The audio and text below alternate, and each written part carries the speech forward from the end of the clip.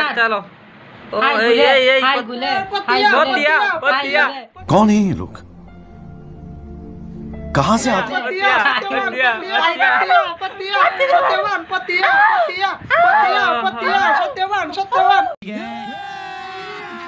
अभी मजा आएगा ना भिड़ो हाँ।